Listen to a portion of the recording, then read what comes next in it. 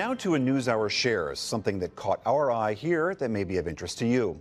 When you think of the most popular sports in the world, even us Americans know that soccer is number one worldwide. But what about number two? Believe it or not, it's cricket. Now, that English game is starting to catch on in the United States. Tina Martin from PBS station WGBH in Boston reports. Suiting up, stretching out, and getting in a little batting practice before a cricket match on a remote field in Wrentham. It's an unusual game that most resembles baseball, except you have a bowler instead of a pitcher, and the ball has to bounce before you hit it.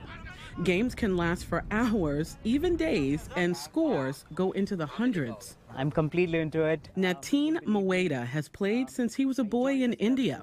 He says American coworkers were often confused about his favorite sport. That's one thing which used to happen with me maybe five, six years ago and I would say, they would say, what did you do this weekend? I would be like, oh, I played cricket. And I would be like, cricket? What is that? Cricket was played in the United States back in colonial times, but had pretty much died out by the Civil War.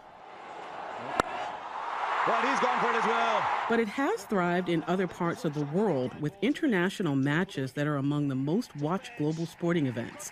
At some games, there are even royal photo ops cricket in India is a religion. It's more than three times the population of uh, United States, and there is one sport.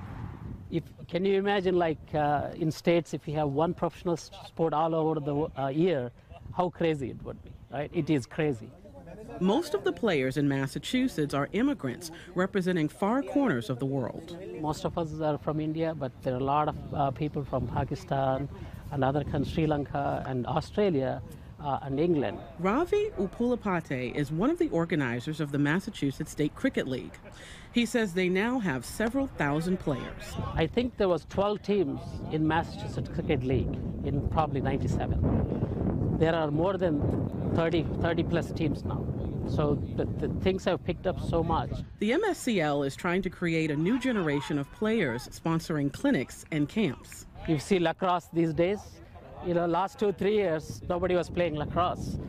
Kids are loving lacrosse. So it's, it's just the just the matter of like how we introduce, where we introduce. A bigger challenge might be educating parents on what they're actually watching their kids play.